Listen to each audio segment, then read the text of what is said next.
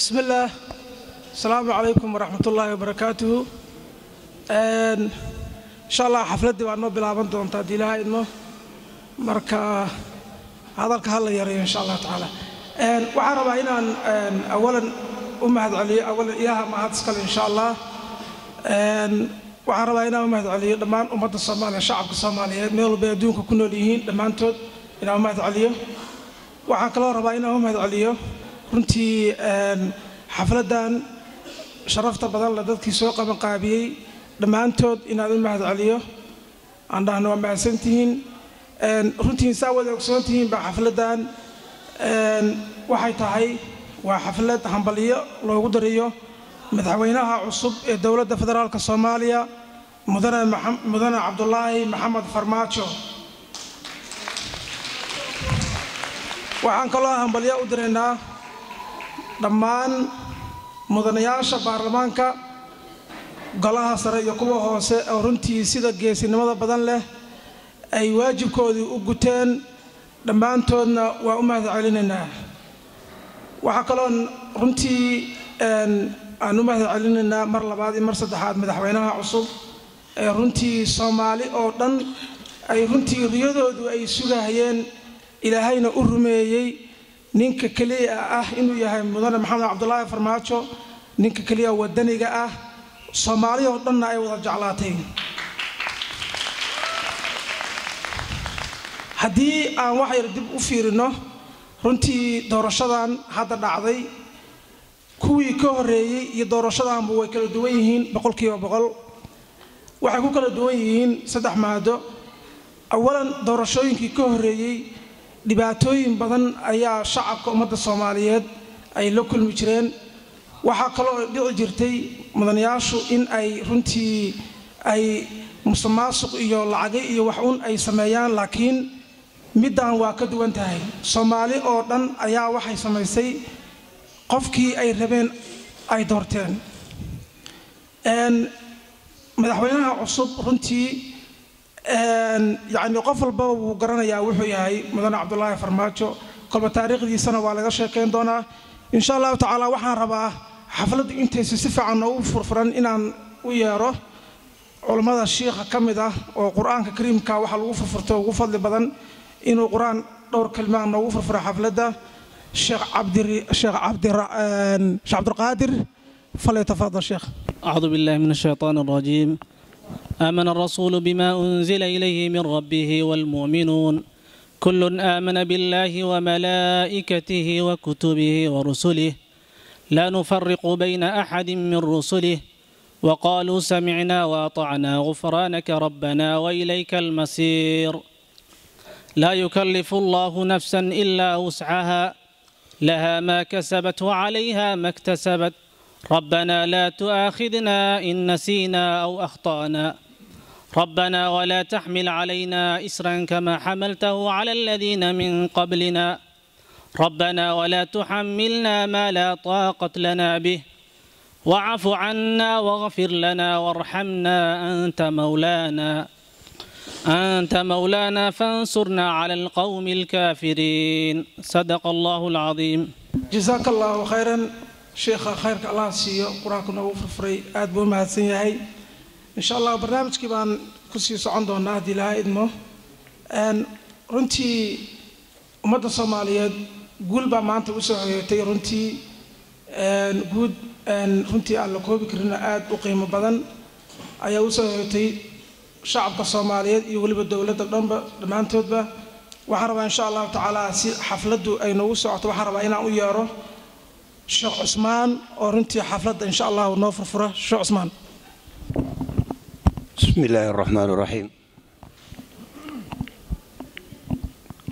waxaan idinku salaamaa salaanta islaamka. Assalaamu calaykum waraxmat ullaahi wabarakaatu salaan kadib waxaan aada ugu faraxsanahay. Wejiyaalka meesha caawa iskugu yimid. Annagoo wada faraxsan oo kulligeedna wada jira oo gacmaha haysta waxaan rajaynaynaa inaan u dirno madaxweynaheena cusub maxamed cabdulaahi farmaajo inaan u dirno salaan gaal salaan gaar ah. Kal iyo laab ka soo go'day. Salaan kadib waxaan leenahay hambalyo hambalyo hambalyo waxaan leenahay jagadan oo cusub oo maanta lagu dhiibay insha allah oo yani dimuqraadiya si dimuqraadiyaha lagu doortay inaad xilkaa weyn oo xag ilaahay kaaga yimid insha allah in xilkaa adig aad ka bixi doontid insha allah soomaalidoo dhanna ay ku waraal yihiin. Meel kastaba ay joogaan. Marka waxaan aad jeclahay inaan idiin sheego caawa soomaaliya maadaama ay abaari ka jirto abaar xoogle ay ka jiraan. Marka waxaan jeclahay inaan isxil saarno oon abaarta dadka xagga ku dhibaataysan abaarta saamaysay inaan wax u qabano. Insha allah dadkayna walaalahayna oo soomaaliya ku nool oo dhibaataysan inaan wax u qabano. Marka mida aad aan yani aad aad aad mataqaanaa aan ugu dhibaataysan insha allah dadka xagga ku dhibaataysan inaan wax u qabano. Waxaan rabaa inaan xoogaa yar wax diini ah arrin oo diini ah inaan soo dhexgeliyo hadalkayga. Sheekh markii loo dhiibay amiirnimada markii loo dhiibay. Cumar bin alkhataab cumar bin alkhataab amiirnimada markii loo dhiibay. Marka waa waqtigii jaahiliyada oo laga soo baxay oo islaamnimada la soo galay. Marka cumar bin alkhataab wuxuu ahaa waa imaam yani waa amiirka saddexaad. Marka amiirka labaad. Nebiga kadib waxaa jiray sayidina abubakar sidina abubakar waxaa ku xigay cumar bin alkhataab cumar bin alkhataab markii meesha loo dhiibay waa ninka aasaasay baytulmaalka weerfeerka oo hadda oo mataqaana maraykanka isticmaalay adduunyada kale ay isticmaalaan. Marka ninka aasaasay waa cumar bin alkhataab cumar bin alkhataab marka naagtiisii waxay haysatay yani naagta asiga uu qabo xoogaa dahab bay haysatay markii meesha loo dhiibay marka cumar bin alkhataab marka wuxuu yidhi islaan yahay dahabkan waa in baytulmaalka inaan dhignaa baytulmaalka inaan dhignaa. Waxaa hi cumarow waa ka horeeyey. Ay jiro waa ka horeeyey. Aniga yani mataqaana ee dahabkan anigana haysta waa ka horeeyey. Markii meesha adig lagu dhiibi waa tan anigaa iskale markaasuu liima dhahaayo uu yidhi. Cumar bin alkhataab xaaskiisa ayaa dahab haysta. Asigana shoo baytulmaalka loo dhiibay liima dhahaa yidhi. Dahabkan soo dhigu yidhi marka sidii wixii ay haysato dhanba maxaa la dhigay? Baytulmaalkaa la dhigay marka welfarekan hadda mataqaanaa ay maraykanka iyo adduunyada kale oo ay isticmaalaan waxaa ka yimid islaamka ka soo farcmay marka hadalkana waxaan ku keenay insha allah marka yani madaxweynaha yani mataqaanaa maxamed cabdullaahi farmaajo farmaajo haddii aan fasirno waa erey talyaani ah erey talyaani ah. Marka ingiriiska wuxuu ku fasiraa waa jiis jiisna waa qof jilcan oo naxariis leh. Marka waxaan rajaynaya insha allah oo anaga yani mataqaanaa aan ka barhaynaa insha allah faraynaa farmaajo inuu noqdo nin naxariis badan oo soomaali oo dhan ka midaya. Insha allah yani mataqaana waxa dib noo dhigi mashaakilada badan oo dib noo dhigi waa qabiil. Qabiilka inaan iska tirtirno oo diintana aan qabno gacmaha isqabano. Insha allah yani aan u jeesano si aan mataqaanaa waddankeena uu horumari lahaa oo anaga aan ka mid noqon lahayn waddamada kale oo maanta insha horumarka ay gaareen anagana waddankeena haddii aad fiirisid waa waddan khayraad waddan khayr badan. Marka waqtigii hore anigoo jooga ital anigoo jooga waxaan soo marnay. Suuqa ayaan soo marnay. Suuqa aan soo marnay waxaa yani gaaladu meesha maraya waxay gadanayeen muuska oo laga keenay muuska laga keenay soomaaliya. Muuska soomaaliya ayaa tan ugu fiican ahayd marka insha allah waxaan rajaynaynaa haddan dhulkayna maadaama uu yahay waddan khayr badan oo khayraadkiisna uu badan yahay oo bigrid. Marka waxaan rajaynaynaa insha allah khayraadkiisii inuu soo baxo yani mataqaana maxamed maxamed cabdullaahi farmaajo uu mideeyey dadka insha allah khayraadkaasna inay noo soo baxaan. Anagana aan gacan ku siino meel kasta aan joogno. Haddii ay noqotoba dhaqaale haddii ay noqoto haddii ay noqoto wax kastaba haddii ay noqdaan inaan gacan ku siino marka insha allah farxadan weyn caawa aan iskugu nimid. Waxaan leenahay maxamed cabdulaahi farmaajo yani hambali aan leenahay. Anagana kulligeen insha allah yani waa inaan gacmaha isqabanaa oo diinta islaamka u jeesanaa si aan mataqaana wadankeena horumarin lahaa oo aan u taageeri lahayna in mataqaana madaxweynaheena. Wasalaamu calaykum waraxmat ullaahi wabarakaatu xaaji cusmaan waa mahadsan yahay tankii waa lenaa xaaji cusmaan. Runtii arrin aada u wanaagsan buu ka hadlay waxaan u malaynayaa kolba farxaddan ummadda soomaaliyeed maanta haysto mid la soo koobi kara ma ahan runtii. Waxaan rabaa insha allah haddii ilaha idmo in aan aan u yeero guddoomiyaha ururka somali youth of luqul master idris oo runtii runtii ka hadli doona dabcan communitiga soomaaliyeed ee magaalada louisville ku nool yacni waxay xafladan siday u soo qabteen u soo aagsameen dhammaantood inuu insha allah uu dhowr eer ka dhaho. Farxaddiisana uu hambalyo ugu dira madaxweynaha dowladda federaalka soomaaliya master idris shariif cali soo dhawow. Ila soo dhaweeya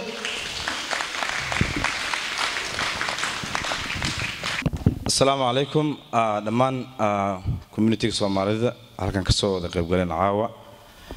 Sambuur naanaystiisa ku magac dheer cabdicasiis la dhaho laakiin sambuur ku magac dheer asana waxaan leeyahay waa mahadsan tahay qaabka uu u daadiinayay maadaama caawa uu yahay mcgeenna ama qofka hadalka noo qaybinayo aad u mahadsan yahay. Sidoo kale waxaan rabaa inaan u mahadceliyo dhammaan communitigeenna oo caawa halkan ku wada idil odayaasheenna dhammaan waxgaradka dhallinyarada iyo gastiga halkan noo joogo sidoo kale waxaan u mahadcelinayaa rig oo halkan noo joogo oo ah manager of office of globalization kana socdo xafiiska maayarka marka asaga xitaa sidoo kale waxaan leeyahay soo dhowow walka waa marti sharaf taas joogto oo ka socda xafiiska maayarka so asana waxaan leenahay thank you and welcome uh, uh, Mr. Rick.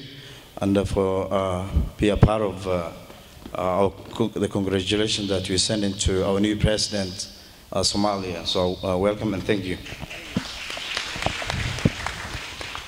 Uh, dhammaan waxaan u mahadcelinayaa communitygan oo dhan uh, sida wanaagsan uga qayb galay naguna dhiirigeliyey eventidan inaan qabanno oo aan uga mahadcelina oo aan ugu hambalyeynayno uguna mahadcelinayno xildhibaanadii sharafta lahayd iyo madaxweynaheena cusub oo la doortay marka dhammaan intii soo qaban qaabisay eventidan la'aanta communityga ma aysan surtoobi lahan.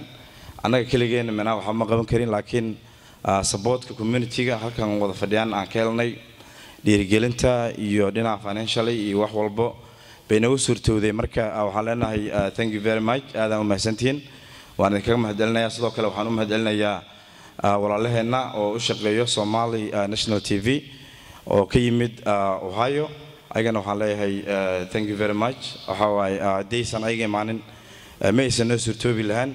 Inaan t v-ga qaranka soomaaliya inaan maanta caawa halkan aan inala joogaan. Fariin iyo hambalyan aan ugu dirno madaxweynaheena cusub soomaaliya maxamed cabdulaahi farmaajo. Dhammaantiina waa mahadsantihiin. Aadna waan idinkaa mahadcelinaynaa imaatinkiina. Anagoo ku hadlayo magaca dhammaan communitigeena soomaalida iyo ururka aan guddoomiyaha u ahay dhammaantiinna aada u mahadsantihiin mahadcelin kadib waxaa sidoo kale mahad gaar ah horta iskale ilaahaygiina abuurtay oo maanta inoo suurtageliyey in waddankeena doorasho xur ah oo xalaal ah ay ka dhacdo. Ay haddana madaxweyne oo shacabkeenii soomaalida meel kastoo ay joogaan ay ku qanacsan yihiin waddankeena laga doortay walow waxyaabaha annaga oo dhan aan ka qabnay doorashada soomaaliya ka dhacisay iyo imaginationka iyo waxyaabaha soomaalida meel kastoo ay joogto hadday joogto dalkii hadday joogto dibadaha aan ku noolnahay oo dhan minaa waxyaabihii laga hadlayo wax ka duwan ay ka soo baxday. Marka ma hadda ilaah baa iskale sidoo kale intii ay gacanta ka geysatay maanta qaranka soomaaliyana ay ka nahayeen iyo xildhibaanada sharafta leh labada gudoomiya gudoomiyaha baarlamaanka aqalka hoose iyo gudoomiyaha baarlamaanka aqalka sare iyo dhammaan guddiga doorashadii iyo dadaaladii ay geysteen ayagana aad baan ugu mahadcelinaynaa aadna way u mahadsan yihiin. Iyo xildhibaanada sharafta leh oo waxyaaba kala duwan ay soomaalidu ay ku micnaynaysay markii ay jirtay broseskii lagu soo xulahayay marka waxyaaba badan lagu kala lagu sheegaya mid oo aan mid aad qaali u ah bay-eed marka taasina waxay kutusaysaa waddankan inay dimuqraadiyadda ay ka howlgashay. Ay madaxdeennin meenaha madaxweynaheenii hore madaxweyneyaashii ay ka horreeyeen waddadii ay marahayeen ay martay. Waxaan dhihi karaa waddamada kale oo afrikaanka ah oo walaalaha nahay kuwa deriska ah iyo in ay meenaha ay sida wanaagsan ee soomaaliya ay ugu daydaan. Xaqiiqdii waxaa waaye waa arrin aad muhiim u ah. Marka mahaddaas baan u diraynaa. Sidoo kale madaxweynaha cusub aad baan ugu faraxsanahay inuu noqdo. Waxaan leenahay hambalyo aadan u mahadsan tahay marka laakiin waxaan leenahay madaxweynaha keligiis waxba ma qaban karo. Waa ognahay madaxweyne aan aad u jecelnahay waaye. Shacabka soomaaliya meel kastoo ay joogaan ay jecel yihiin. Laakiin farina waxaan u dirayaa baarlamaanka. Labada aqal aqalka hoose iyo aqalka sare. In ay la shaqeeyaan wasiiryaasha iyo ra'iisul wasaarihii soo magacaabi doono iyo dowladdiisan lala shaqeeyo lana soo dhoweeyo lagana ilaaliyo wixii khilaafaad keeni karo. Sidoo kale madaxweyneyaasha kaloo maamul goboleedyada ka jiraan oo maanta maasha allah maamul goboleedyaan leenahay si fiican u shaqaynayaan. Ayagan haddee dadaal badan bay way soo dadaaleen. Xildhibaanadan maanta madaxweynahan cusub doorteen. Maamul goboleedyada lagu soo doortay. Marka ayagan shaqo fiican bay soo qabteen. Marka waxaan leenahay ayagan taarikhda xusi doonto wayna mahadsan yihiin. Marka waxaan rabnaa ayagan inay la shaqeeyaan madaxweynaha cusub aysan dhihin heshiis uu asaga ama waddamo kale la galay iyo waxyaaba uu sameeyeyn. Sida mararka qaar aan maqli jirnay oo kale aysan khilaafaad iyo waxyaaba noocaas aysan imaanin. Waddanka madaxweynuhu leeyahay madaxweyneyaasha sharafta leh oo maamul goboleedyada kalena waxaan ku dhiirigelinaynaa madaxweynaha inay la shaqeeyaan.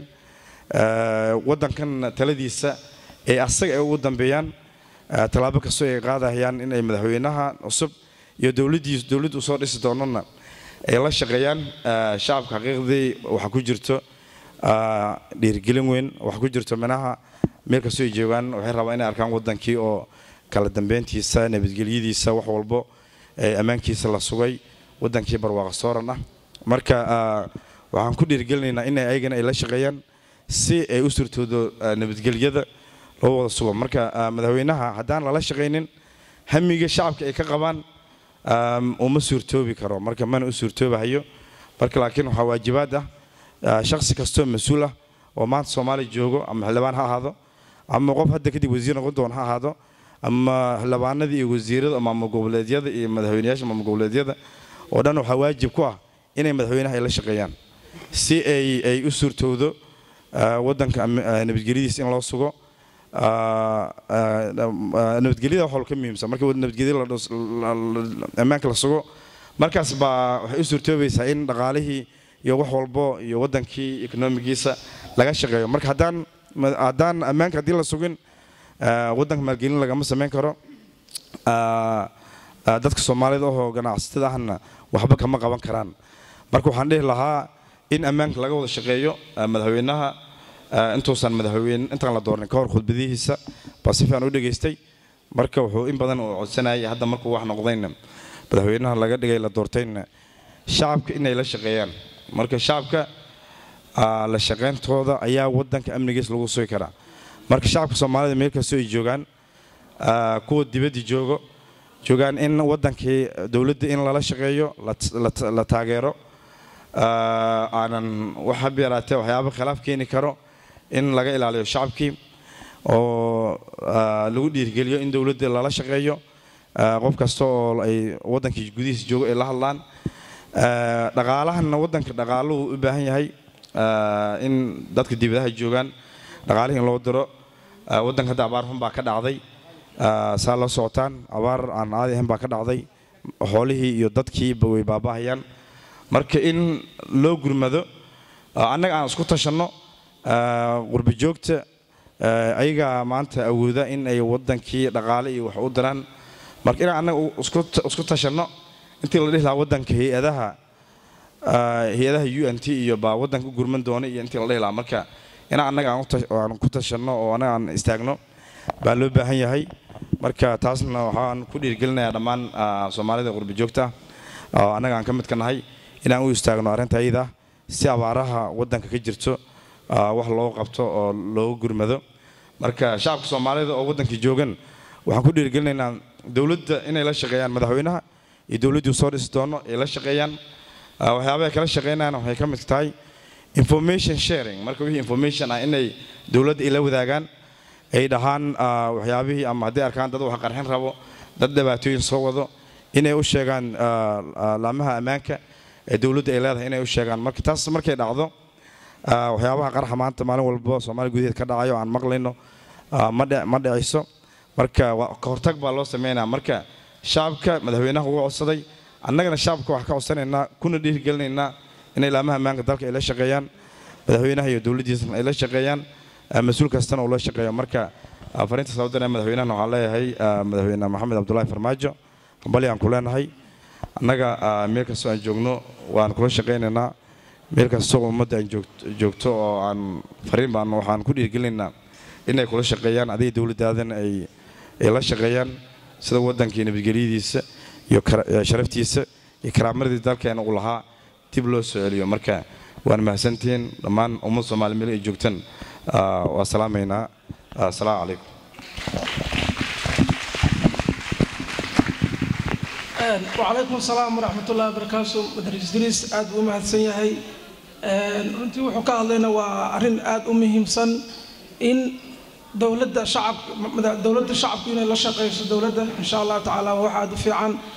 Insha allah haddana waxaan rabaa inaan u yeero cabdi cumar oo ku magac dheer gacma dheere oo aad taqaanaan oo business businessmaanyada kuwa ugu waaweyn ka mid ah. Waxaan rabaa inuu ka hadlo somali history insha allah waxaa layla soo dhaweeyo cabdi cumar gacma dheere. Mahadsantiin This is the Somali flag. MashaAllah. Asalaamu calaykum dhammaantiin waxaan idinku salaamayaa salaamta islaamka. Midda kale historyga laygu qoray. Historyga soomaalidu waa dheerar badan yahay. Inta badanna wuxuu ku tiirsan yahay innaga iyo waddanka aanu dariska nahay buu ku tiirsan yahay lianna soomaalidu sideedaba waxay ahayd hadda ka hor baan waxaan fiirsanahayey waxaan fadhiyey masaajid masar ku yaalla. Marka khaadibkii baa wuxuu yidhi annagu marka jasiiratulcarab laga reebo ciddii islaamnimada ugu hor qaadatay baanu ahayn soomaaliya ka bacdi.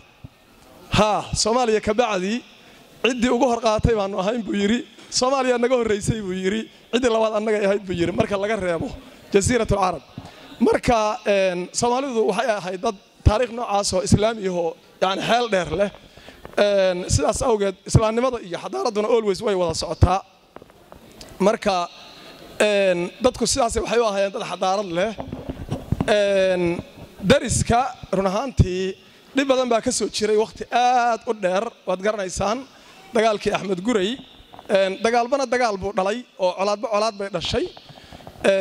Dagaalkii axmed guray yani waxaa la yidhaahdaa toddoba boqol hijriya markay ahayd. Maanta kun iyo afar boqol ah. Yani toddoba boqol hijriyadu markay ahayd ayuu ahaa. Time dheer buu socday. Wakhtigii ay dhacaysay ay dhacaysay yani dagaalkii axmed guray waddanka soomaaliya wuxuu lahaa laba iyo toban maamul goboleed laba iyo toban maamul goboleed. Waxaa loogu yeeri jiray waxaa la odhan jiray ammaanaad yacni ismaamullay ahaayeen oo iyagu ismaamula. Middan harar iyo saylac iyo xamar baa u waaweynaa saddexdaasa u waaweynaa laakiin labiyo toban bay ahaayeen. Labiyo tobankii in uu ururiyo oo ay hal noqdaan waxay ku qaadatay wax ka badan labiyo toban sano waddankii kaleeto ee etoobiya aad aragteen inta dhulku leegyahay inuu qabsadana waxay ku qaadatay laba sano. Marka dadkan horta meeshii ay wakhtigaa joogtay years ago baan maanta taaganna we go back all the way. Marka waxaan u baahannahay si adag inaan u soo noqonno si adag inaan u soo noqonno. Ma fahmaysaa? Waa kala googo'naynay wakhtigaas ayada ah dadku saasay u kala furfurnaayeen mid walbana ardisababay ku xirnayd. Ardisababaa looga talinayey faraha loogu yeeri jiray saasay iska soo ahaayeen. Dagaalkaasi waa dhacay. Axmed guray bortaqiiskii baa dilay. Waxaa ku xigay nin la odhan jiray cabdulaahi warsame in la yidhahdaan u malaynayaa oo isaguna harar ka kacay waa dambe. Wakhti dheer soo socday xoogaa isaguna socday. Adigu waxaa dhalay yacni ciidamadii axmed guray baa dhalay ninkaas wakhti ka bacdi buu ahaa. Isaguna sanawaad badan buu jiray. Asagiina waa la dabagediyey oo ciidamadii ingiriiska dabagediyey waa la soo socday waxaa ku xigay sayid maxamed cabdilla xasan oo taariikhdiisa in badan oo ka mid a aad garanaysaan. Time dheer buu la dagaalamay isagu isagu wuxuu faysgareeyey saddex cadow oo kala duwan oo talyaani dhinaca ingiriis dhinaca etoobiyaan dhinaca. Wixii oo dhan buu faysgareeyey. Time dheer buu isaguna la soo dagaalamay. Xornimadaasi way soo socotay. Dadkii waa soo ilbaxay sayidkii markii laga guulaystay oo la jabiyey qori isu dhiibkii wuxuu ku wareegay qaab qalin iyo dood ah. Qaabkii qoriga ahaa waa laga baxay waxaa la bal horta aanu dhinaca kaletana ku dayno. Qaab qalinuu ku wareegay oo wuxuu u gudbay nimankii s y l. Yacni s y l waxay ahaayeen dhalmadii sayid maxamed cabdilla xasan. Yacni waxay ahaayeen awlaaddii sayid maxamed cabdilla xasan. Yacni qofka sidiisaba markii lagu beero wadaniyadda ayuu dhashaa markaasuu soo dhashaa. Halkaasay ka dhasheen xamar bay ka dhasheen ayagu qoloba meel bay ka kacaysay xamar bay ka bilaabeen. Ayagu markaas qalin iyo dood bay ku kaceen. Way wadeen way wadeen way wadeen. Ilaa iyo gii ilaahay ha u naxariista kulligood ay keeneen calanka aynu maanta meel walba ku haysanno. Ee aniga dhinacayga yaalla. Wakhti buu soo socday. Yacni kabacdina milatarigii baa qabsaday. Taariikhdii ugu dheerayd oo dowladnimo aniguna aan ku barbaaray waxay ahayd middii milatariga. Midda aan in badan ka sheekayn karaana waa middaa sida xaqiiqadu tahay. Dowlad yacni la taaban karo oo soomaaliya yacni xoog yeelatay caalamka oo dhanna ka muuqatayna way ahayd run ahaantii. Waxaa la yidhaahdaa jaale maxamed siyaad barre wuxuu noqday guddoomiyaha qaaradda afrika yacni sanad sanad bay loo noqdaa madaxweynayaasha. Inta badan waa maqasheen. haddii aana khaldanayn inuu noqday markuu noqday sannadkii keliya ahaa ee uu guddoomiyaha afrika ahaa toddoba wadan oo afrikaan ah calanka qaadatay. Toddoba wadan oo afrikaan ah baa calanka qaadatay. Horay iyo gadaal midna uma dhicin. Dadaalka noocaasa nin keenay. Way soo socotay. Yacni waddanka waa garanaysaan markii hore hadba waxbuu ahaa. Markii hore sideed gobol buu ahaa. Waa dambe toban baa laga dhigay. Laba iyo tobanka gobol markii waddanku ahaa laba iyo tobanka gobolba waxaa loo sameeyey kulleejooyin ilmaha lagu barbaariyo. Kulleejooyin ilmaha lagu barbaariyo. Magaalada xamar ilmihii yaallay dariiqyada hurhurday ee baadiyaha ka soo orday ee baakadaha ku jiifay xamar waa laga aruuriyey waxaa la geeyey kulleejo markaa la dhisay la furay ee la odhan jiray lafoole oo ku taallay afgooya agteeda ku taallay ayaa la geeyey. Ciyaalkaas anigu waan ku soo gaaray kullaajada laftigeedaan ka baxay aniga laftigeedu kullaajada laftigeedaan ka baxay farmaajahaani kullaajada laftigeedu ka baxay farsamada laftigeedu ka baxay. Marka ciyaalkaas meesha la geeyey waxaa la odhan jiray calibustaa la odhan jiray calibuste aabbihi hooyo toona ma lahayn calibustaa la odhan jiray wuu garanayaa farmaajo caawa haddii loo sheego. Si fiican buu garanayaa. Waa la soo gudbay. Waxaan garanayaa. Waddankii waa burburay. Habeen baan meel isugu nimid. Waddamadan westranka ka mid ah. Annagoo guruub oo kulleejaalayaala wiil dhallinyaradii ka mid ahaa run ahaantii aad u ooyey oo taqriiban markaas agekayga ahaa. Wuxuu yidhi qof kasta oo maanta dalkii burburay waa la kala cararay. Qoodhiin iyo xeradin bal arrintaan u fiirsada. Qof kasta oo dal oo waalid iyo qaraabo iyo dad lahaa waa la kala cararay. Qof walba wuxuu u orday yooma yafiru min ummihi wa akhiihi baa ka dhacday qofba meel buu u fakaday ilmihii yaryarka ahaa buu yidhi ee gurigii ceel jaallo deganaa. Yacni waa ilmo agekooda u dhexeeyo min two months two months old baa ku jira two months old two maxaa la odhan karaa? Adigu lix jir baa u koreeya ceel jaallay ku jireen ragga halkaan fadhiya rag baa kullaajadii ka soo baxay. Oo garanaya waxaan ka hadlayo ilmihii intaa la eglaakaa hooyooyin baa hayey dowlad baa mushaar siinaysay kushiin baa jiray waxbaa loo karinayey yacni waa gurigaanoo lixdana iyo kaasoo toddobaatana iyo kaasoo siddeetana iyo kaasoo yacni intaasoo guri oo ardayga ugu weyni uu yahay labiyo toban jir labiyo toban jir uu yahay.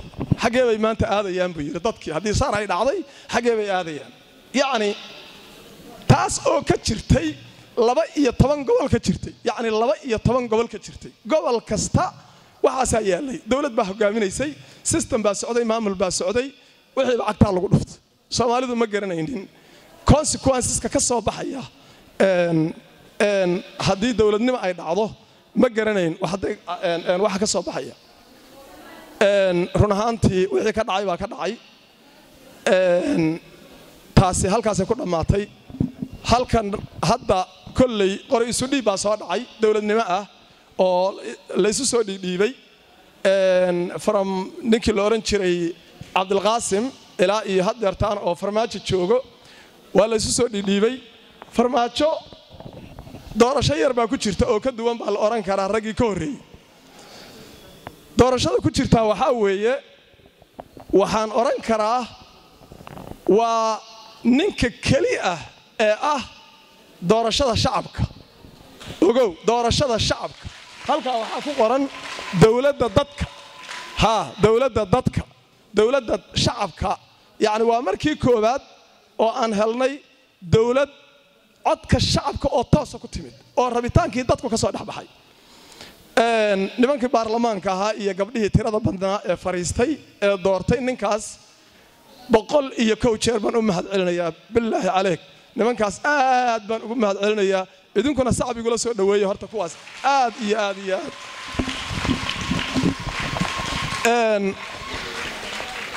Intaa markii aan ka gudbo warqad yar baa la ii dhiibay oo taymkaygu waa gebagabo waxaan rabaa inaan talabixin dowladda siiyo. Intaasaan ku gebagabaynayaa maadaama laga yaabo in dowladdii ay aragto. Run ahaantii qof kasta oo naga mid ah waa in uu ka qayb qaataa amniga waddanka. Waa hadalkii idris uu sheegayey amniga waddanka inuu ka qayb qaato wey waa qof kasta oo naga mid ah.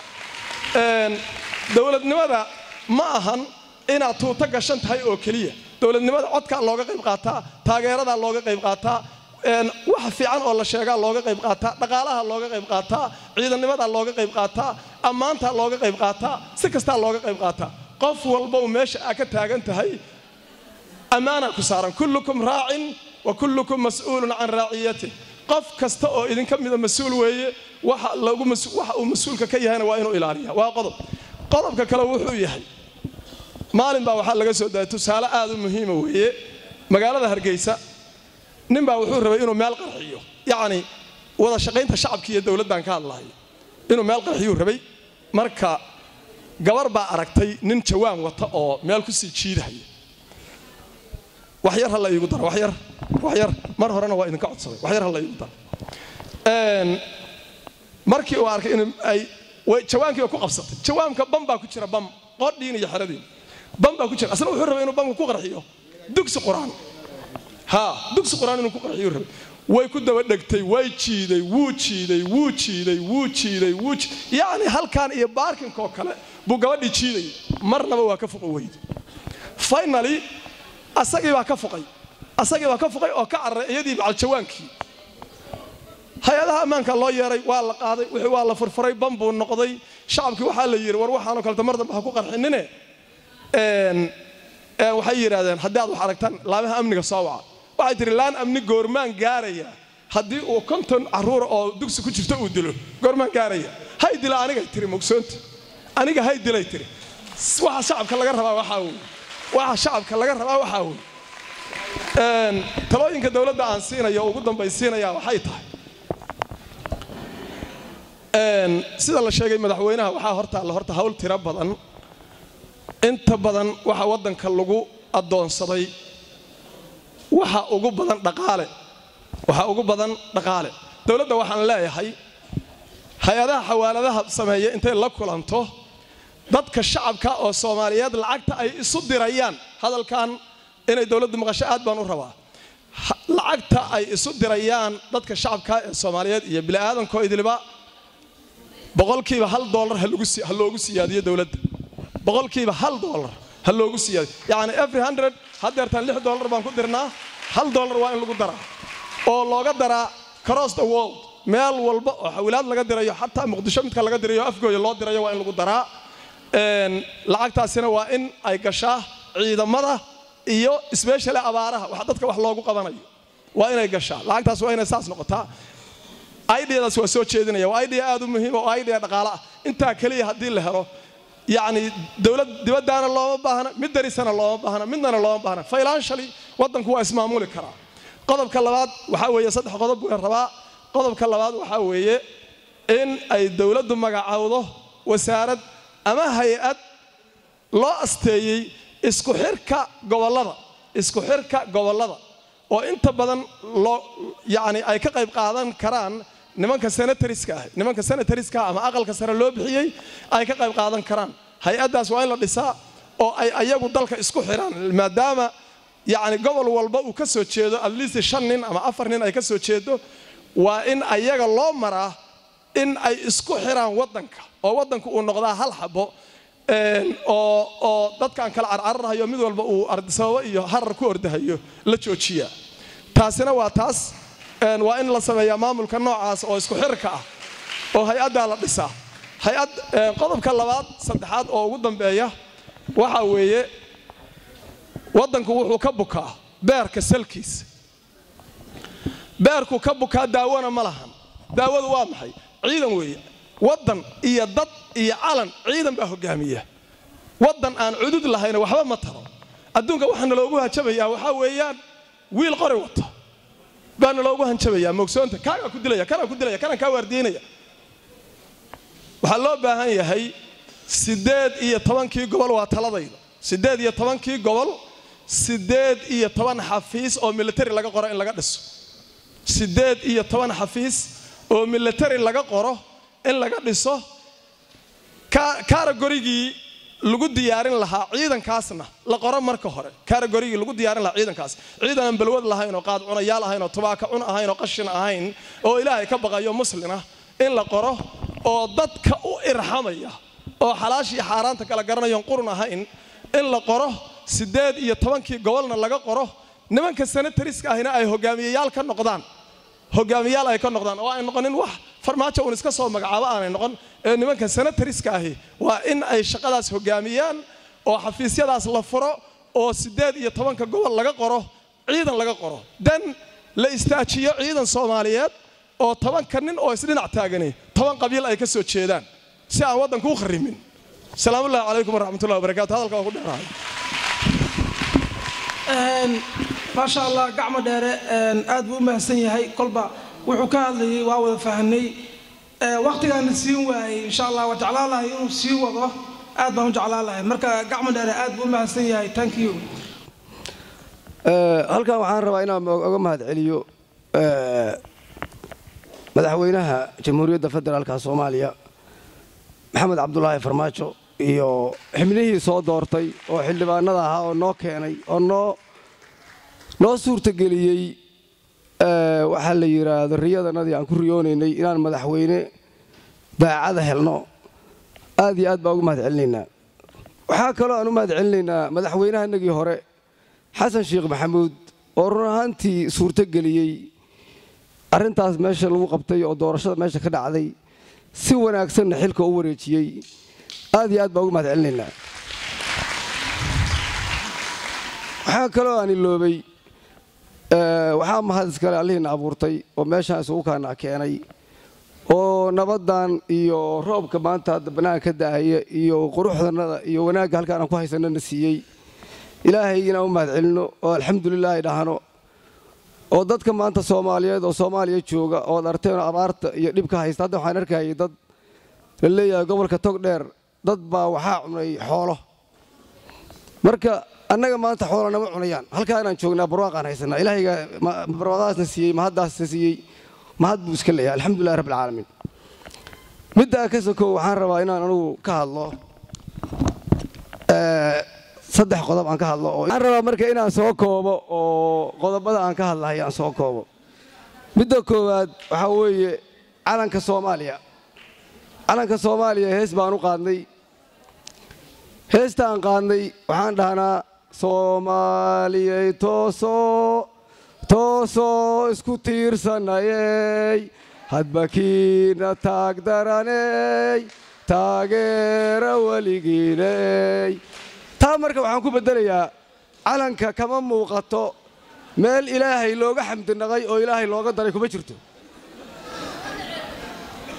Waxaan rabaa inaan oga daro halkaas meesha la leeyahay soomaaliyey toosoo toosoo isku tiirsan haddii aan isku tiirsanna waa daadanaynaa maxaa u baahannahay marka inaan dhahno soomaaliyey toosoo toosoo allihiin ku tiirsada oo hadba kiina taag daranay taageera weligiine daad miinis markaa ilaahay ku tiirsatid ilaahay waa ku taagaya. Laakiin haddaad isku tiirsato waa lagu daadinaya soddon sana marka waxaan ku haynay annagaa isku tiirsanay waana la daadiyey marka.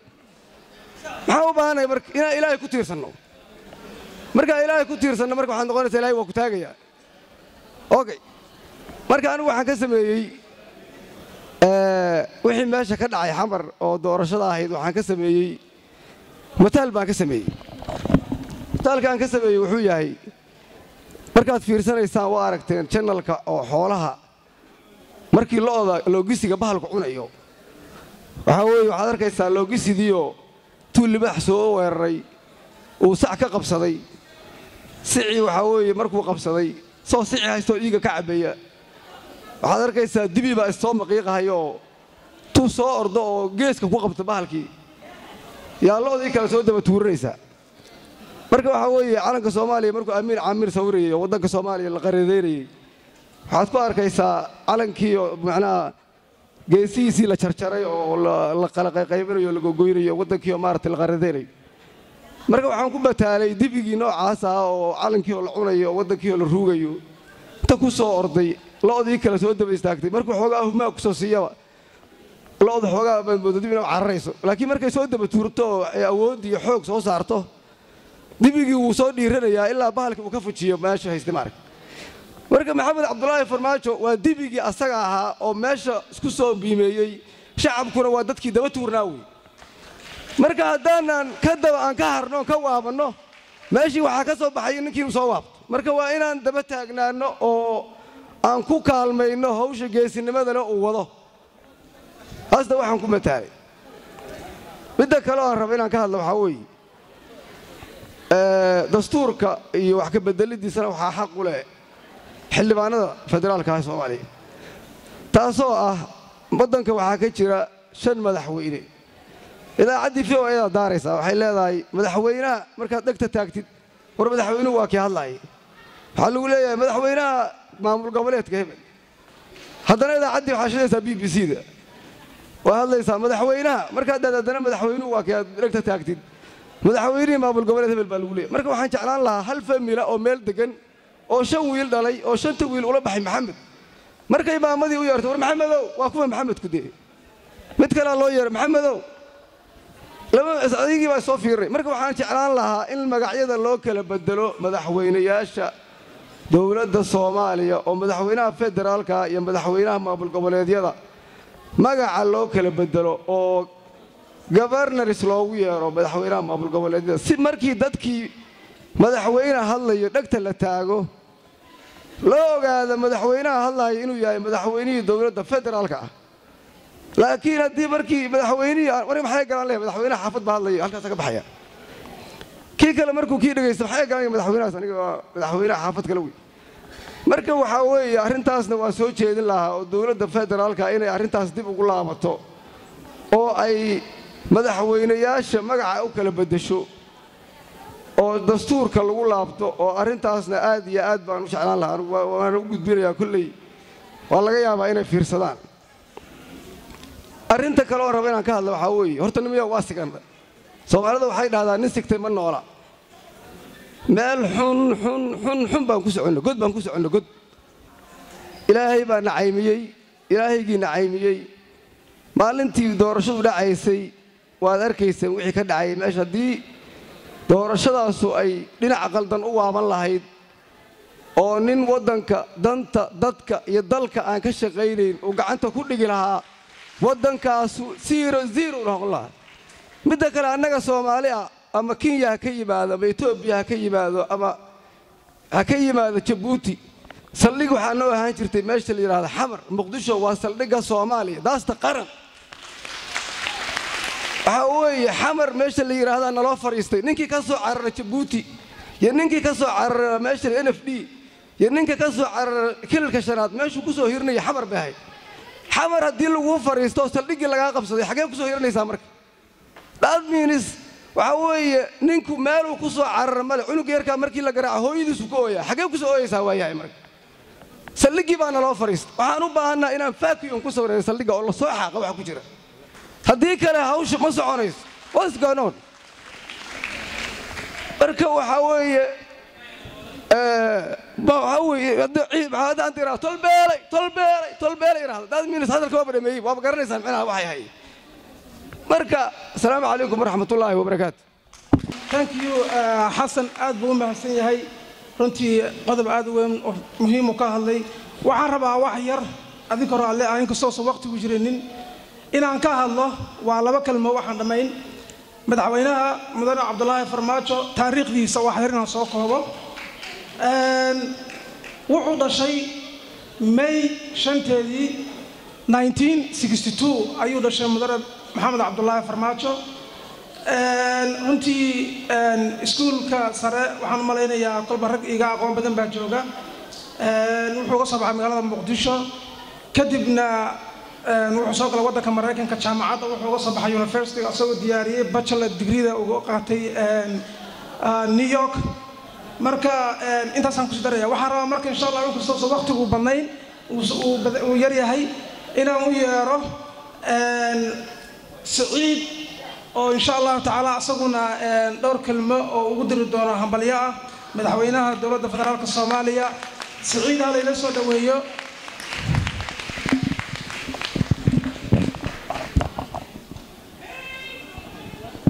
waxaan malaynayaa waa waa la daalaan malaynaya dadkii oo dhan. Waa caajis baa jira mar dhow insha allahu tacaala waa xoogaa amaasantiin.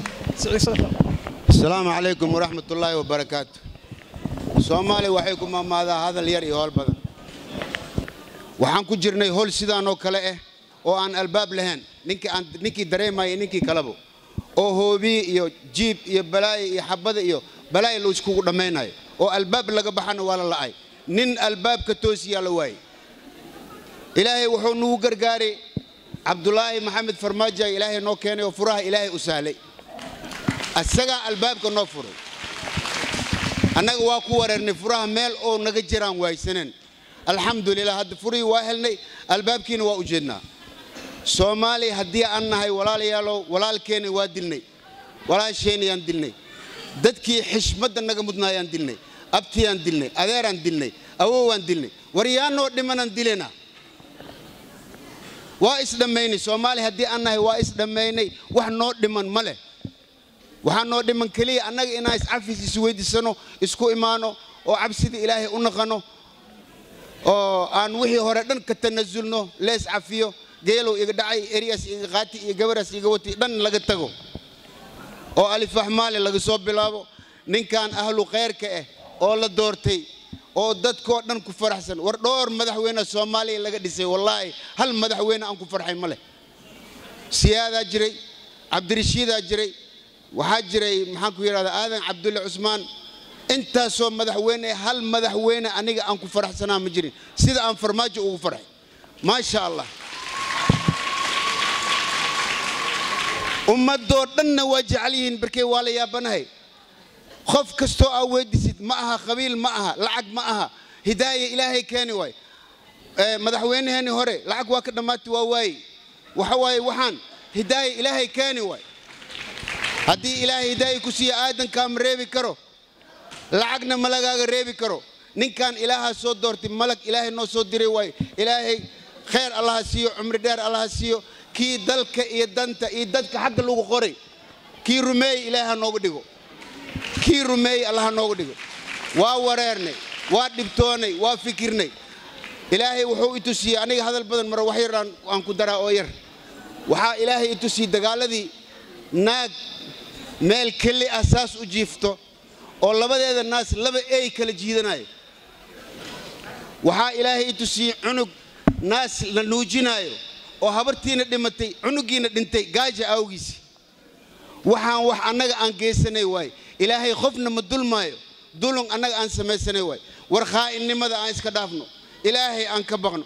Qofka walaalkeena yaana khayaanin runta aan u sheegno haddii runta ayna jirin wallaahi tan ituka xun aana sugayso weliba tan baashaalay naqanay. Maxaa jiri dulunka adigaa keensanaya war walaalkaaga waay adeerkaaga waay abtigaaga waay hadduu gardaran yahay u sheeg gardaradiisi. Qofka walaalkaaga baahan khiiro war aniga labaatan sanaan ka maqnay maraykanka ee soomaaliya. Markaan xasuusto soomaaliya markaan xasuusto calooshaa i gadoomi jirtay sida nin jaceyl wareeriyo kale. Jaceylka aan maalinta aan tegaayay diyaaradda markaan ka degay oo dhulka lugahayga aan dhigay meel aan years mooganaayo waay. Wallaahi jilbahaan dhulka dhigtay dhulkaan shumiyey maxaa jiri dhulkeenni hooyo iyo dhul adiga aadan lahayn isku hal maaha.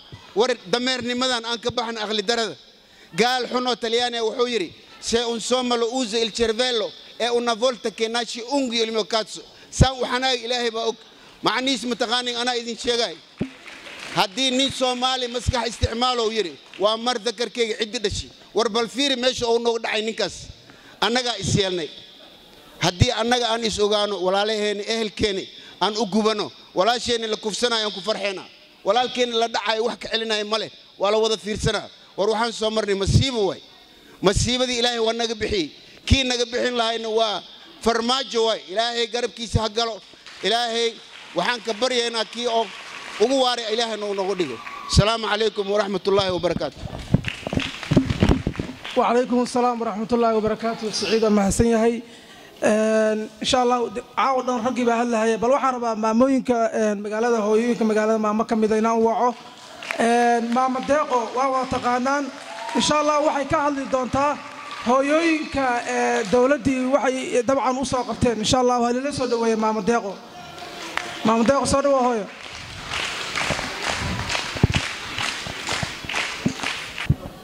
bismi illaahi raxmaan raxiim asalaamu calaykum waraxmatullaahi wabarakaatu asalaamu calaykum waraxmatullaahi wabarakaatu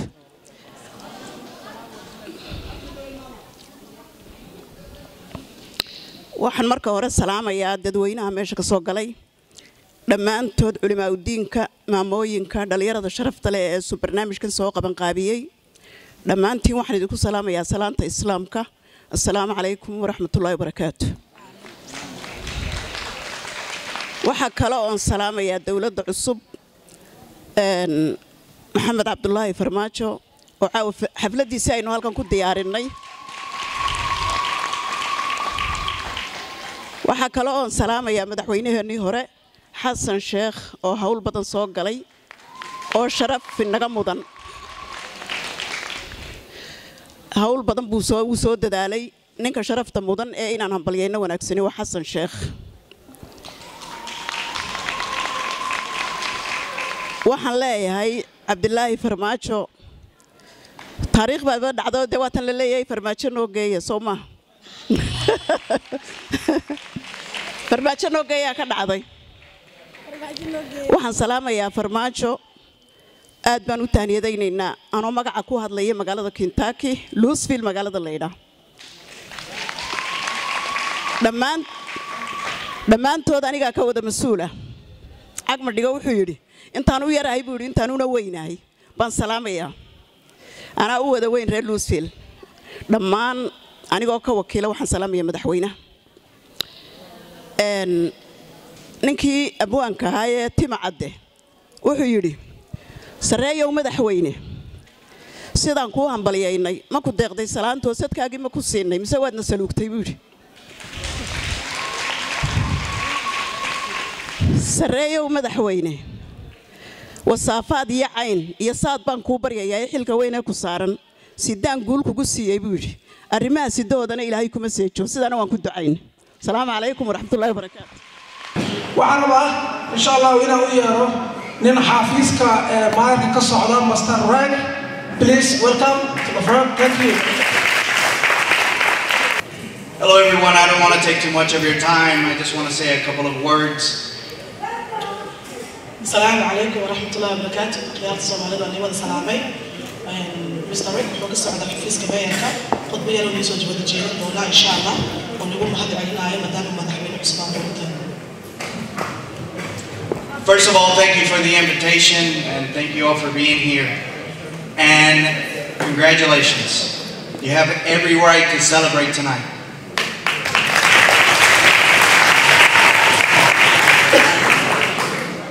aada u mahadsantaan invitation haddii soo dartaana meeshaan igu soo qaabisheen tii kalena waxaan idhahayaa inaa u guuriyo maadaama madaxweyne cusub aad doorateen if you want to clap. You have every right to celebrate tonight, and you should. This is a historic moment, and you should enjoy as you look forward towards the future and take this moment as a signal of hope. xaq ayaa u leedahay maanta inaa xalfaddaa samaysataan wada faraxdaan waa ina shay aad u wanaagsan waa ina mar walbana aa faraxdaan sababto waxay tahay nolol cusub ayaa bilaabatay gool cusub ayaa gaartay And with that, I encourage you to do a couple of things. Number one is engage with the community. Build your currency for trust and educate yourself. maadaama ay taas tahayna hal shay ayaa liigu dhiirigelinayaa midda koowaad waxay tahay inaa noqota dad oo dadkiis jaaliyadiisa ku xiran oo jaaliyadiisa waxtar u samaynayo Because as you build your currency for trust with the community that you currently live in, if you ever get the opportunity to go back, you will have something to contribute to your nation.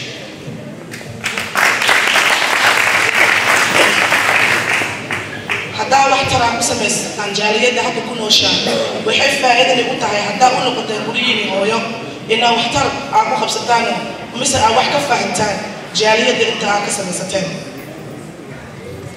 So take a page out of President Mohammed Farmage's book. And be the best citizens you can be.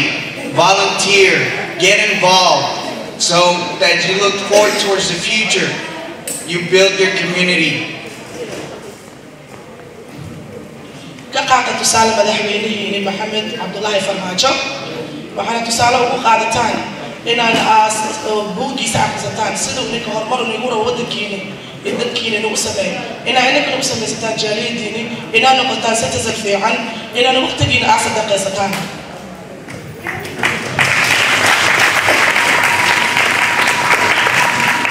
And lastly, not least, congratulations.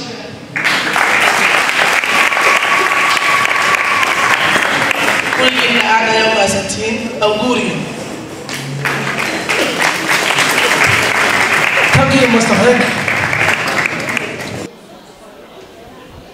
marka waxaan rabaa insha allahu tacaala haddana inaan u yeero abwaan da'yar oo insha allahu dhowr kelmo oo gabay ah uu xafladda ugu talagalay insha allahu tacaala inaan u yeero waa kaahin. Hal soo dhoweeyo dhallinyarada da'yar waayo. Soo dhoweeye waa la diray fariin iyo wax walba dowladda waa loo diray n anigase waxaa dirayaa maanta waa duco. Ducaa u diraya waddanka iyo dowladda cusub ee u dhalatay soomaaliya waddankeenna. N wax yar maanse aan halkan ka jeedinayaa waxaan ku bilaabay maansada sidan. Maamulkii qabyaalad naga qaada qorigee nabad noo dabaalee lagu diirsadaa noqo. Mudanow maalintii maamulkaa la doortaa miyi iyo magaalaba nafta kugu maqsuudee. Idag baan ku oodnayn afka laga daboolo loo diida daryeel dugsi iyo tacliin. Maamulkii qabyaalad naga qaada qorigee nabad noo dabaalee lagu diirsadaa noqo. Da'yartii dalkayga badaha halaagiyo magafuhu ku haystee midka ay sugaayeen mawlaheen ha kaa dhigo. Aamiin dhahada marka maasada intaasay ku dhammayd waxaa wax yaraan ku darsanayaa oo hadala. Horta waxaan u mahad celinayaa dhallinyarta lovel s y l soomaaliya glovel oo isku soo qabaqaabiyey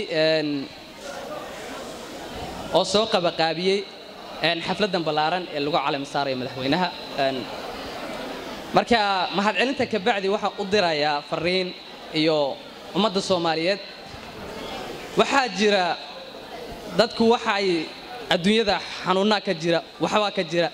Dawadooda waa la helaa laakiin years iyo more than hal cudur oo dawadiisa la waayey waa qabyaalad. Qabyaaladda waa fayrus nagu dhex jira.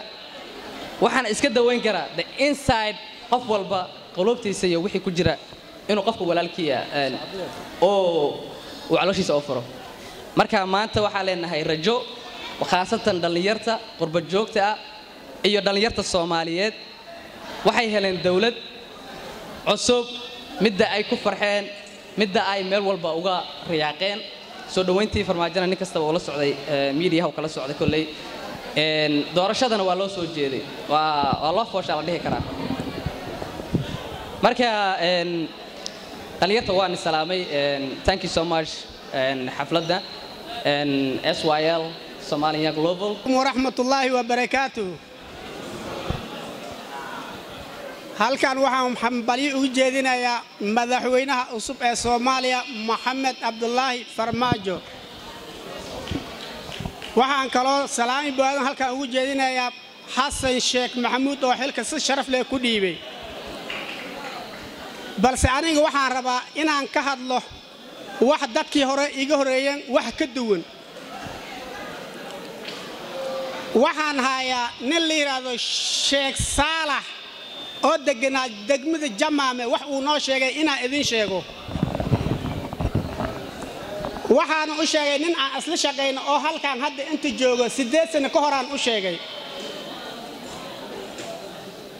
aniga aadan ahaan inay hergeli doonto iyo in kale ma ogi laakiin farax aan dadka aan faraxsanaan ayaan ku faraxsanahay madaxweynaha cusub maxaa yeelay aniga magacaan waan sugaayey lix iyo labaatan sano ayuu waddanka burbursan yahay. Lix iyo labaatankaas sano magacaan waa sugaayey nin la yidhaahdo sheekh nuux xuseen maalindeerow ayaa wuxuu yidhi tuulada la yidhaahdo beledalkariim tuulada la yidhaahdo gaduuday iyo haraaw inta u dhexayso waa degmada jilibe. Waxaa imaan doona dad laakiin aniga ma joogay geeridayda moogeeda waa yidhi sheekh nuux xuseen maalindeerow meesha aydeed waxaa degay warshadii mareeriya degtay dadkii beeraha waa laga qaaday dadkii uu sheegay ayagay noqdeen. Sheekh nuur xuseen waxaa intaa ku daray nin ayaa idin imaan doona oo beledulkariim imaan doona xooluu idin keeni doonaa hadduu idin keeno ka qaado wuxuu yahay ma ogidina ilaah baa oge ninkii isagaa dubiloo eh iyo sokor iyo bariisu keenay bartiinu ku muslumay gaal buu ahaa. Beledulkariim waxaa ku taalay meel taaga oo isboole iyo beledulkariim u dhexaysa taagan wuxuu dad baa soo degi doona berigaas aniga ma joogayo. Sanadkan ayaa waxaa degtay yunisomtiyaa degtay. Sheekh nuur xuseen intaas wuxuu ku daray waxaad la kulmi doonta yuri soomaaliya. Kintaal galey oo hal milyan lagu heli dooni hadday taagan tahay. Wuxuu yidhi soomaaliya waa burburi doontaa markay burburto laflaf raayraay reerreer jilibjilib iyo darisay isu dili doontaa ninkii walaalkiisa gedigaa webigii gedigaa jiro dhinaca geda ha mariyo. Hadduu ka diido ha iska dhaafo kii baxa aduud eh arrintii waa dhacday ani markaasaan waxaan ka imaaday hamaraan ka imaaday jilibaan imaaday beledulkariimka siyaarajood siyaaradaasaan joogay. Masaajidka markaan ku dukunay salaadda subax laga baxay sheekh salaad waa istaagay isagaa noo sheegay. Sheekh nuur markuu sheegay aniga ma joogin. Laakiin sheekh salaadaa afkiisa ka furaa. Intaa markaa dhahay sheekh salaad wuxuu yidhi webiga toddoba bere biyo lagama cabbi doono. Ani waa ka soo tagay in laga cabbi waayo in kale ma ogi inay dhamman tahay in kalena ma ogi intaas kadib wuxuu yidhi sheekh salaad sheekh nuur wuxuu noo sheegay inuu ciidanka soomaaliya dejin doono iridhiinka imaanayo. Wuxuuna yidhi intaas bacdeed waxaa qaban doona soomaaliya nin magaciisa maxamed la yidhaahdo anugu magacaanaan sugaayay inuu yahay in kale ma ogi. Laakiin lix iyo labaatan sano ka hor ayaa waxaa noo ii sheegay nin la yidhahdo sheekh salaad. Degmada jilib deganaa oo gaalli ahaa sheekh caalami ahaa ayaa nooga sheegay masaajidka saacd dhexdiis markaan salaadda ka baxnay markii ninka maxamed la yidhahdo qoftu wuxuu sheegay inay noqon doonto soomaaliya nabad tan oo kale ma la arkay. Horey nooma soo maray in la dhihi doono. Laakiin sheekh nuur wuxuu yidhaa layidhi taas meeshay ku eg tahay ma ogi. Anigu nin baan ahay tan waan sugaay soomaaliya ha israacdo soomaaliya ha madoodo. Madaxweynaha cusub kii cadaalad noqday allaha nooga dhigo kii xilka ka degayna kheer allaha kulmaysaa maadaama habadda aynan ka dhicin habadda wiil waa ku dhinta ee kuma dhasho. Soomaaliya magacay lahayd magaceeda waxaa burburiyey qabiilaa burburiyey. Waxaan xasuusanahay beri oo gadaafi beri oo gadaafi la dhihi jiray ninkii gadaafi la dhihi jiray shirka midnimada afrika ayaa waxaa looga dhigay guddoomiya dowladda soomaaliya ka soo horjeesatay. Waxay tidhi gadaafi sanadkan ma noqon karo midnimada afrika sababtii aana ku burburtay sababtii soomaaliya ay ku burburtay. Maan soomaaliya wax ka yaqaan. Laheed daday laheed.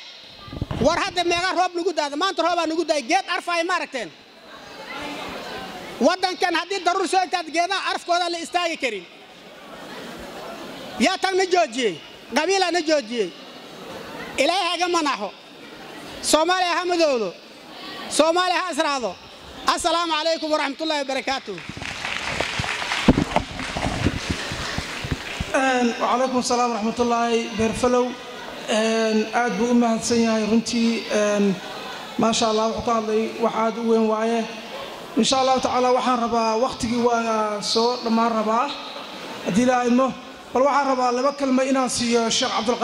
oo insha allahu tacaala laba kelmo insha allahu tacaala masage u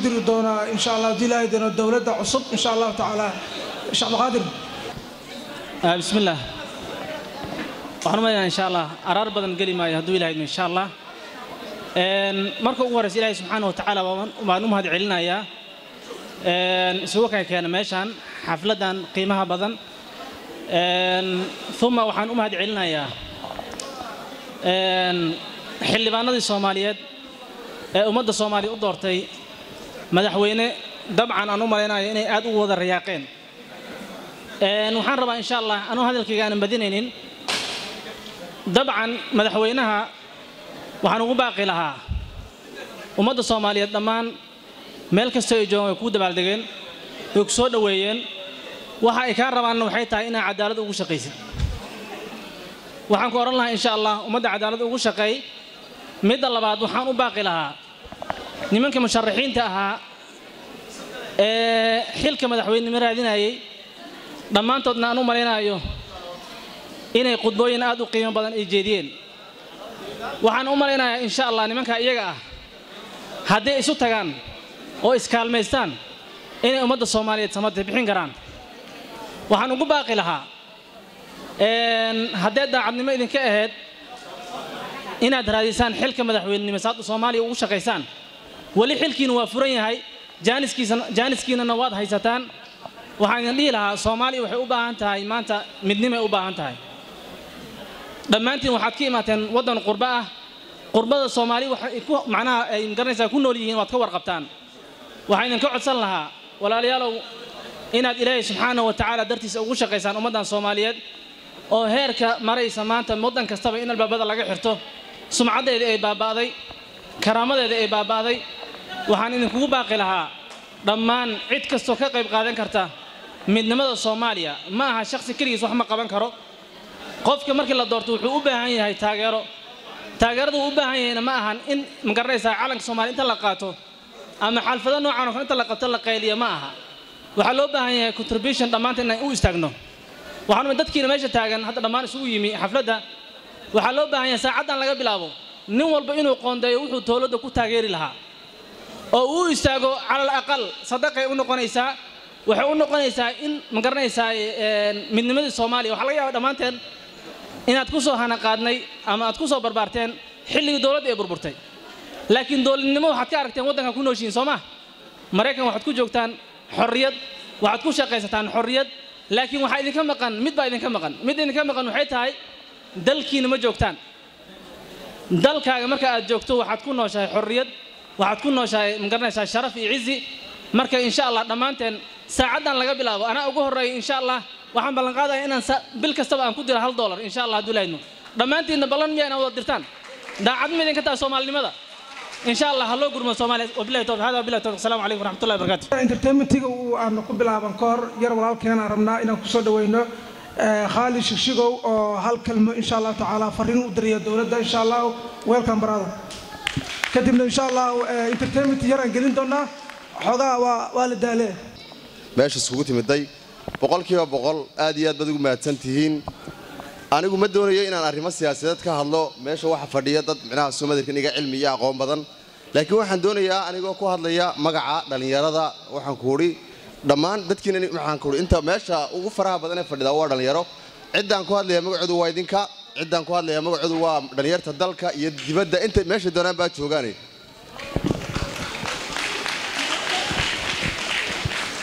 waxaan damacsanahay inaan dhammaan ummadda inaan saddex siyaabood micnaha ummadda u sheego. Anigu lama hadlayo madaxweynaha madaxweynaha waxaan ku uhi boqolkiiba boqol aad baan u salaamayaa. Wejiyadeenna quruxda badan ayay micnaha farxadda iyo kalgacalka iyo sidaan ugu hanweyna ay ka muuqataa. Laakiin waxaan doonayaa inaan idiin sheego haddii aad tihiin ummadda soomaaliyeed ama dalka jooga ama dibadda jooga in waddankeena lix iyo labaatan sannadood muddo dhan ay dhibaato ka taagnayd. Haddaba dhibaatada lix iyo labaatanka sanno waddankeenna ka taagnayd ma aha micnaha somadarkin mid aynu muddo gaaban kaga kabsan karno. Marka waxaan leeyahay madaxweyneheenna aynuu samirno ilaahay xilkaa ku asturo. Waxaa loo baahan yahay farxadda si aanu ku faraxsannahay inaynu u dacayno madaxweyneheenna teeda labaad waxaan idinka codsanayaa ama idinka ha noqoto inta dalka joogta ha noqoto ama inta dibadda joogta in aynaan ka qabjabin madaxweyneheenna tusaale yar baan idin siinayaa. Aqalkaaga haddii aad doonayso micnaha maanta guri sida loo dhisaa way adag tahay. Guri steeskaad ka bilaabaysaa wakhti dheer buu qaaday inaad dhisto ugu yaraan saddex bilood afar bilood buu qaadanayaa maanta inaad guri dhisto. Laakiin haddii aad damacdo inaad guri dumiso wax saacad ka yar baad ku dumi kartaa. Waa cagaf aad gelisa gebigiisaba talabaad maanta haddii micnaha soo madarkin addimada aad ka jabto gacantaa maanta haddii uu qaftamco inuu ijabiyo waxay ku xidhan tahay hal budho uu soo qaato. Laakiin gacantaydaasi haddii aan damcin micnaha inaan kabmo ama la ikabo waxaan kaga kabsanayaa muddo bilooyin bay qaadanaysaa haddiina sanada qaadaninba taa waxaan tusaale uga dhigayaa waddankeennu in badan buu burbursanaa in badan bay dhibaata soo wajahday. Marka aynu u samirno wakhti bay madaxweynaha laftiisa wakhti bay ku qaadanay inaynu micnaha soo madarkin aynu ee, madaxweynaha laftiisa inuu nabad dhaliyo inuu horumar dhaliyo inuu waddanku nabadiisa ku noqdo wakhti bay qaadani. Marka aynu u samirno talabaad dadkeena waddanka jooga meeshaan doonabaa joogna inta waddanka inta waddankii joogtaana nabadgelyada si fiican inay ugala shaqaysa ayaan ka codsan lahaa idinka yar fadhiya inta micnaha dibadda joogtana waxaan ka codsan lahaa hal doolar oo aynu iska jarno ayaa inagu filan. Weliba waxaan la hadlayaa jeelka dhalinyarta aniga filkaygo kale ee aan qabyaaladu ku rikibnayn dadkii waaweynaa waalidiintii waxba laga yaaba inay qabyaaladu ku sii dambayso iyo reebel ay ku dambayso. Inta ficina maanta innaga wax qaban karna innaga wax dhisi karna. Biliis waxaan idinku codsanayaa anoo magaciina ku hadlaya in dhalinyartahay meeshaad doontaan joogtaan inta waddankii joogtaan nabadgelyada kala shaqaysay aan waxba awoodin. Inta wax awoodaana jeeg nin walba waxaan kuhi wiig buu wax ku qaataa wiigaa wiig kastood qaadata shan doolarada waddankaaga u hurto ayaa micnaha ku filan. Anigu arrimo siyaasadeed kama hadlayo dhaqaalaha waddankeenna aynu u taagnaano soomaaliya ha noolaato. Calankeennu ha noolaado. Soomaaliya ha noolaato. Calankeennu ha jiro. Waxaan aaminsan oon in yar baan iloobay. Mid baan ku darayaa ee, habeenkii micnaha soo madarkin farmaajo la dooranayey ama dalka ha la ama dibadda la joogay dadku laba habeen baa la soo jeedo la seexanin. Anigu soo jeedka la soo jeeday waxaan aaminay in qabyaaladii la gunaanadayey waayo qof hadduu sakaraadayo hadduu qof sakaraadayo waa lagu soo dul jeedaa waa la gunaanadaa. In qabyaaladii la gunaanaday baan aaminsanahay soo jeedkii iyo saamaleylkii. Markii micnaha farmaajo la doortay la yidhi farxaddiina waxbaan aaminay in qabyaaladii la aasay. Ilaahay dartii aan isku aamino soomaaliya ha noolaato. Assalaamu calaykum waraxmatullahi wabarakaatu intaasaan kaga baxaya hadalkayga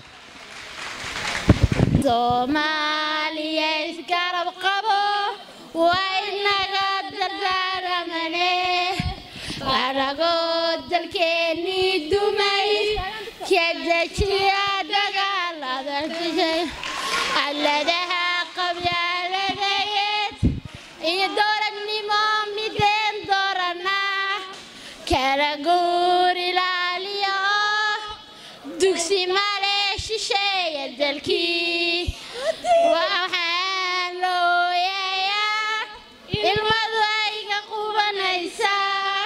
اختيار للودي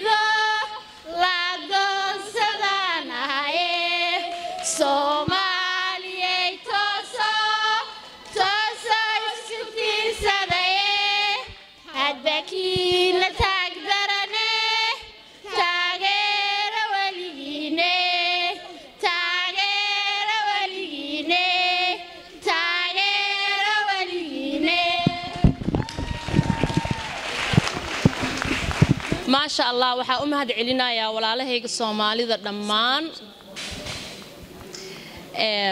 kulligood iyo walaalaheena nooga imaaday magaalooyinka kaleeto.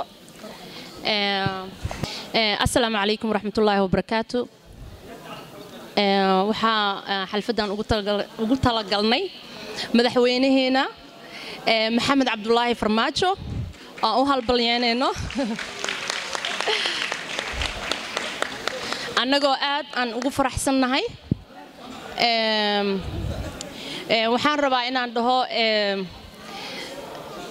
taageernimada inta ayay ka bilaabanaysaa bal sacabka noogu kaalmeeya sacabkiina aad u liitaa.